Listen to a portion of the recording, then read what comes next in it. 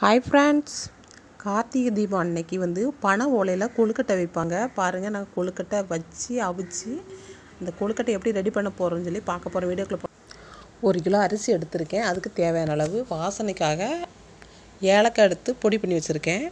அப்புறம் வந்து இதுக்கு தேங்காய் துருவலை வந்து நல்லா வறுத்து போட்டுக்கலாம். அப்புறம் சிறு பயிறு இருக்குல்ல அதையும் வந்து நல்லா வானிலை நல்லா வறுத்து அதையும் மிக்சியில் போட்டு கொஞ்சம் நம்ம ஒரு ரெண்டு அடி அடித்தோம்னாக்க அதையும் போட்டுக்கலாம். அதுக்கு தேவை மாவு வந்து பக்குவமாக நல்லா சீனி தான் எடுத்துருக்கேன்.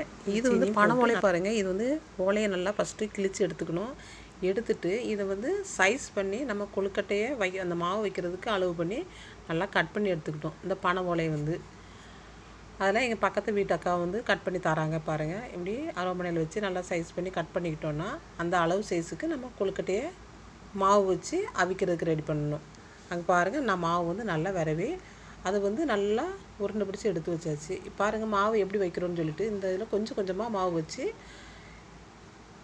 அந்த மாவு வச்சு அதுக்கு மேலே மூடி மாதிரி ஒன்று போட்டு அப்புறம் அதை கட் பண்ணி அப்படி நல்லா கெட்டி வச்சிட்டோம்னாக்க அது வந்து நல்லா ஓடி அவியணும்னு சொல்லுவாங்க. இந்த மாவு பச்சை மாவு எப்படியும் ஒரு ஒன் ஹவர் நம்ம தூத்துக்குடி திருநெல்வேலி இந்த மாதிரி மாவட்டங்கள் வந்து பனை ஓலை வந்து நல்லா அதிகமாக கிடைக்கும். அதனால் பனை மரத்தில் உள்ள ஓலையை வச்சு தான் கொழுக்கட்டை அவிப்பாங்க. இது வந்து பிடி கொழுக்கட்டை அந்த மாதிரிலாம் அவிப்பாங்க. இப்போ வந்து நாங்கள் கொழுக்கட்டையை வந்து ரெடி பண்ணி பானையில் வச்சுட்டு அவிக்கிறதுக்கு ரெடி பண்ணியாச்சு. இதில் வந்து மேலே ஒரு மூடி மாதிரி பானை வைக்கிறேன். ஏன்னா இது வந்து ஆவிலாம் வெளியே போகக்கூடாது. எப்படியும் ஒரு மணி நேரம் அடுப்பில் வச்சு வேக வைக்கிறோம்.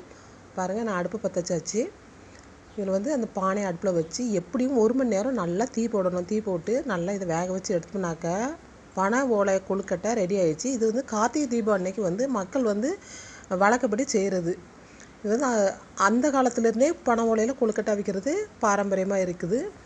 ஒரு சில மக்கள் வந்து கருப்பட்டி அச்சு வெள்ளம் மண்டை இந்த மாதிரி வித்தியாசமான கொழுக்கட்டை செய்வாங்க. இந்த கொழுக்கட்டை வந்து நாங்கள் பாருங்கள் அவிச்சு எடுத்தாச்சு. இந்த அவிச்சு எடுத்ததும் அந்த ஓலை வந்து பிரித்து பார்க்கும்போது பாருங்கள் எவ்வளோ அழகாக கொஞ்சம் தானே மாவு வச்சுருந்தோம். ஓலை நல்லா வந்து அழகாக ஓடி வந்து அழகாக வந்திருக்கு. இந்த பச்சை ஓலையில் கொழுக்கட்டை அவிச்சு சாப்பிடும்போது நல்லா வாசனையாகவும் சூப்பராகவும் இருக்கும்.